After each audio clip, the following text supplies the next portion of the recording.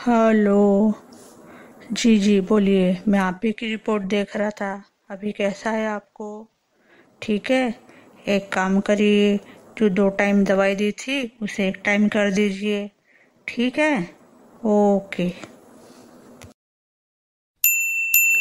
Next, आइए।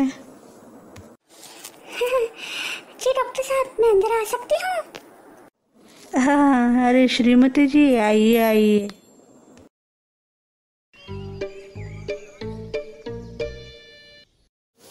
हाँ हाँ कहिए कहिए कैसा आना हुआ?